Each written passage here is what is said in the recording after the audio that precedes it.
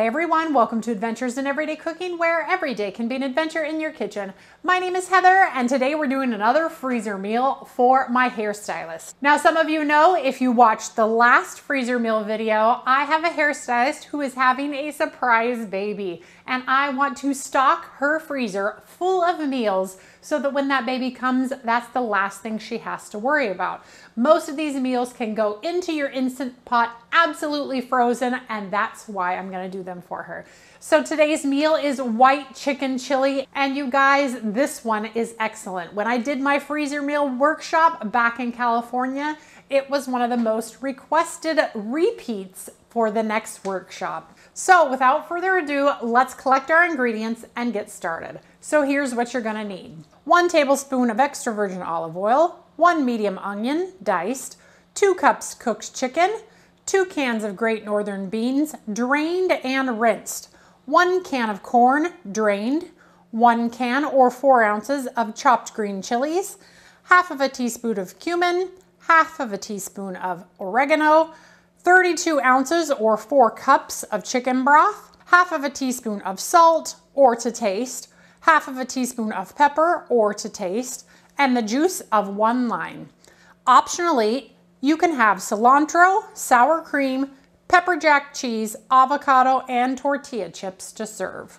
Okay, so if you watched the last freezer meal preparation day, um, you'll remember that I used this very large mason jar and I got my stuff stuck in it.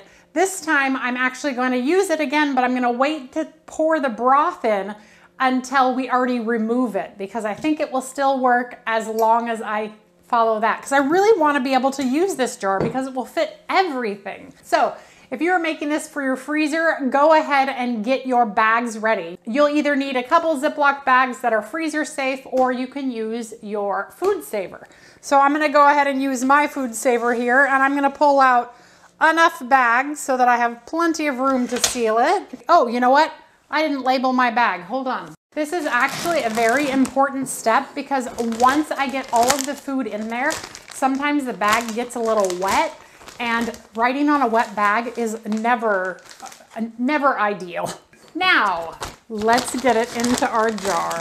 Okay, so the first couple times I did this recipe, I actually uh, caramelized the onions before they went in. However, I then became a little lazy and stopped caramelizing the onions and I literally didn't taste the difference. So if you like the taste of caramelized onions, caramelize your onions, but I am all about quick, easy, and into the freezer, so I'm not gonna do it.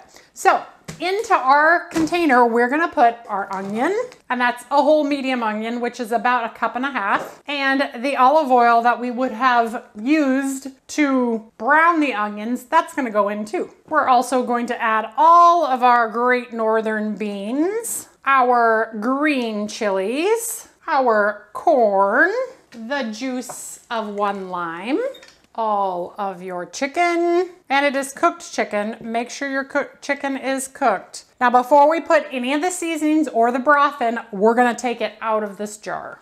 Okay, let's get this out. See, this will be so much easier because there's no juice in it and everything is squishable and no juice is falling out. Come on, come on. There we go. And now it sits up on its own so I don't have to worry about it falling over. Right, rolling down the top again because I don't want to get it wet at all. And I'm gonna put in the spices. So this is oregano, cumin, salt, and pepper. And I used half a teaspoon of salt, quarter teaspoon of pepper, but you do you. If your broth is a little too salty for you, definitely use less salt. You can salt it at the end as well because this is a meal for someone else, I went with the minimum amount of salt so that she could salt it the way she feels the need. And since chicken soup season has not quite arrived yet, this is just chicken stock I made last night using better than bouillon, works just fine. All right, and into the bag, our chicken stock is gonna go. And I try to pour it over the top of the seasonings so that that does the mix for me, okay? And that's it. This freezer meal is done. Let's get it sealed up and into the freezer. Okay, so let's get it into our machine.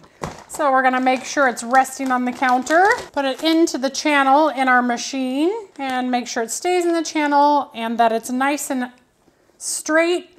I'm gonna turn my machine on. I'm going to put it to moist so it doesn't suck all of that broth up. And then I'm gonna go ahead and get it started by pushing this button here. And once I see it start to suck up some of the broth, I go ahead and cancel it to seal. That way it doesn't suck up more broth than I want it to. And then we will check our seal and it looks really nicely sealed there. Actually, I see a little bubble in the seal and that's due to the fact that there is so much liquid in this. So don't be afraid of resealing again because you definitely want a good seal on your bag before it goes into the, the freezer. But the way that you can tell it's sealed is that the line goes all the way across and you can't see any of those little um, textures all the way across. You have to see it all the way across. All right, and there we have it. It is all ready for the freezer. Now, um, there are two ways that you can freeze this. You can freeze it by laying it down and freeze it like this so that whenever it thaws, it thaws really quickly. Or you can actually freeze it inside a pot that is the same size as your Instant Pot. So for example, let's push all of this down so that's all at the bottom of our bag. And then what I'm gonna do is get a pot I know is smaller or the same size as my Instant Pot and I am going to freeze it in this size right here. So this is gonna go straight into my freezer like this so that whenever I open it up and cut it out, it fits right in. Because if you watch the other video, you know that I had to kind of like break it in half and try to fit it in there. And that was fine, but uh, this is a kind of a nicer way of doing it, especially for her because then she'll just have to rip off the top and put it in. By the way, she already had the first, I don't know if I mentioned, I think I did, that I'm giving these to her ahead of time so that she can try them out and know what's in her freezer once the baby comes. So this meal will actually go to her this week. Um, so I'm excited for her to try this one because she's gonna really like it. Okay, into the freezer it's gonna go just like this, but you're in luck. I have another one in my freezer and we're ready to cook it. All right, let's clean up and get this in the freezer. And here we are. Let's get this frozen one right into the Instant Pot. So what I'm gonna do is I'm just gonna cut off the top here and we are going to unwrap this and get it right in. Now you'll notice I did not freeze this one in the pot like I did for her because number one, I didn't have the room in my freezer for two pots. Um, and number two, I was lazy this the day that I made this one. Um, and I was just like, oh, we're just gonna get it in and you'll see it's just, it's fine. There we go. And as you can see, it does kind of stick up out of the pot a little bit. This is only slightly a problem um, because you'll want to make sure your lid can shut. Nope. Okay, so what do we do? What do we do when it's too big? We chip it off. So I have a meat tenderizer here and I'm just going to chip it a little bit. See, this is why you gotta make sure that it fits into your Instant Pot. There we go. Okay, it only took a second, only took a little bit to get it in there. I only had to chip off a tiny bit, but that's why it's kind of ideal that you get it down inside something that is the same size as your pot. But what we're gonna do now is we're gonna set the pot for 10 minutes and we're gonna quick release and it's gonna be done. So here we go, pressure cook to 10 minutes and I'll see you back here when that's ready to be released. All right, time is up. It's time to let Walter release the pressure and then we'll get it dressed and on the dinner table. All right, it's down out of pressure. Let's open up and see what we got. And check it out. And look at this amazing white chicken chili. Now, two things here. You can make this creamy. However, that increases the amount of calories that is in this soup. Right now, the soup is so, so, so calorie conscious. So if you're gonna add some cream, You can do it right now, make it a little creamier, but it is great the way it is because we're gonna add some sour cream, some cheese, some cilantro, some avocado, and some chips. So then it becomes not so calorie conscious, but just as a soup itself, it's really a, a nice soup. So we're gonna ladle it out and put it right into our bowl. All right, and now we are gonna dress it up and make it beautiful. So the first thing that I like to do is take my chips and crush them into it. I know some people are like, why are you crushing those chips in there? It's a great texture, tastes amazing. Now we're gonna take some cheese, sprinkle it right over the top. We are gonna take some sour cream, dollop it right over the top. Take a little cilantro if you are a cilantro lover, and we are going to tear it into pieces all over our soup. And then last but not least, we are gonna take our avocado and fan it out on our food and stick it right in.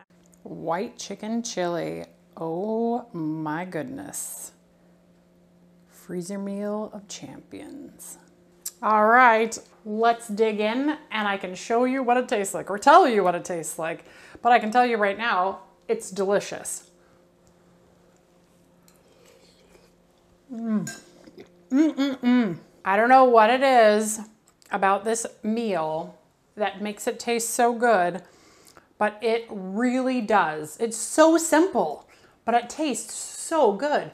The lime that you add to it really does give it that nice acidic kick and the uh, broth and just everything, how it marries together. This is so, so good. I think I make it probably three or four times a year and sometimes I make it during the summer on really cool days because it is just so good.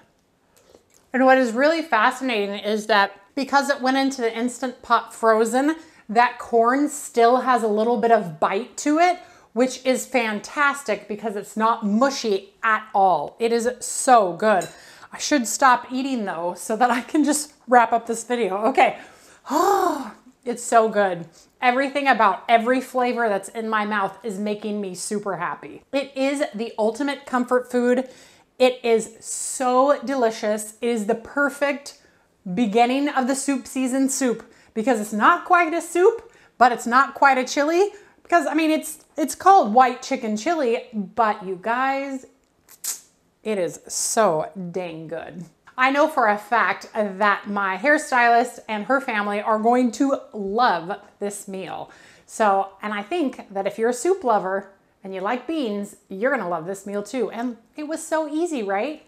All right, you guys, well, if you enjoyed this video, give it a like, share it with your friends, and subscribe to my channel. I do videos several times a week, and I'm always looking for the next adventure. Um, right now, I am doing a series called the 12 skills that every home cook um, needs to know kind of thing, or I feel like needs to know. Some of the things are things that I actually need to know, and some are things that I actually do know. So I thought I would share that adventure with you.